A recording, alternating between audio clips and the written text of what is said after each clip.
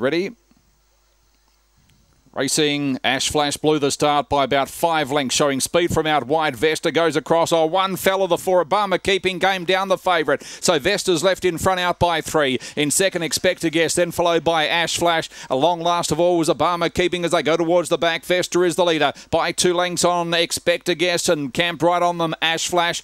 And I'm not sure whether Obama keeping's going to finish the race for the first four. Off the back they go. Vesta is the leader now. Ash Flash pushes through and expect a guess was wider. Ash Flash goes up, hits the front. Expect a guess trying to go with Ash Flash, who's very strong. Ash Flash in front, draws away now, wins by two. Expect a guess second. Five lengths away, third was Vesta. Cheer on the four. Obama Keeping's going to finish fourth for the first four in a time of 37.55 for the winner.